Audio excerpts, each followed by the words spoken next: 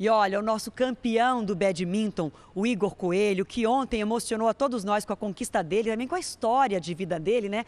Hoje ele desembarcou no final da tarde no Rio de Janeiro. Teve mais emoção porque a família preparou uma festa surpresa. Vamos ver. Primeiro, o susto. Depois, o sorriso com a festa preparada pela família.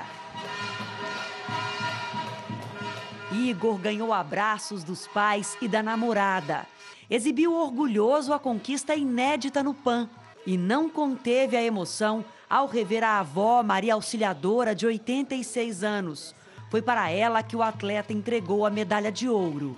Para essa garotada que pratica badminton na comunidade onde Igor nasceu, ele é um ídolo.